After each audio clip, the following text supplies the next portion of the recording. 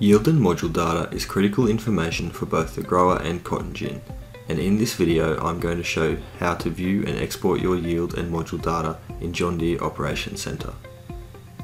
From the Operations Center map page, navigate to the Analyze dropdown and select Analyze.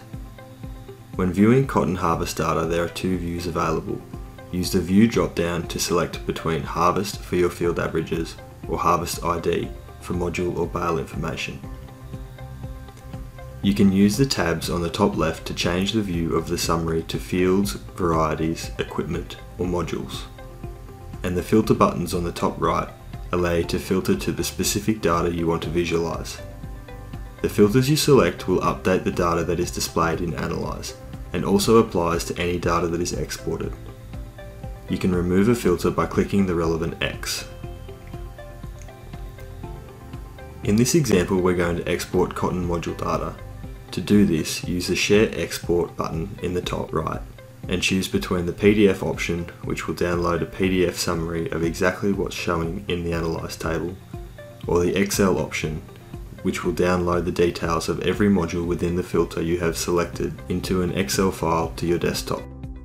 To easily view your yield data spatially, use the map icon within the Analyze table to view the field immediately. Alternatively, you can navigate to Field Analyzer under the Analyze tab and search for the field you want to look at. Clicking on individual modules in Field Analyzer will show you the associated data, and you can use the Show HID Cotton checkbox to remove the modules from the view. You can change the layer you're viewing using the drop down in the top left. There are many agronomic and machine data layers available to select from, but in this scenario we'll select yield in bales per hectare. The field information now changes to align with the layer you have selected.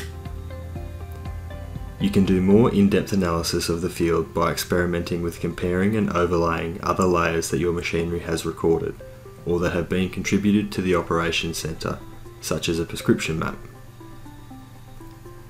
A visual summary of the data layer that you are currently viewing can be exported in PDF format using the Share Export button in the top right.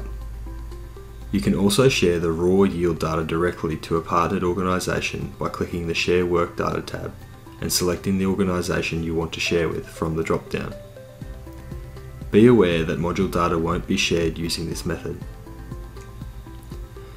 To share both yield and module data at once, navigate to the More drop-down and select Files. Use the filters on the left to identify the documentation files that you want to share. Select the files using the checkboxes and then click the Assign button. Choose the partner that you'd like to share the data with and click Assign.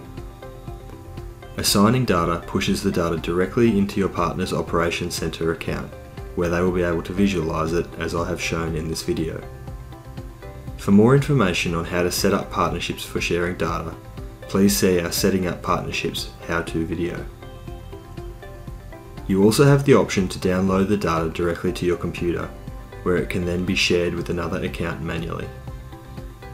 Thanks for watching. For more information on how to best utilise your John Deere technology, please check out our other how-to videos.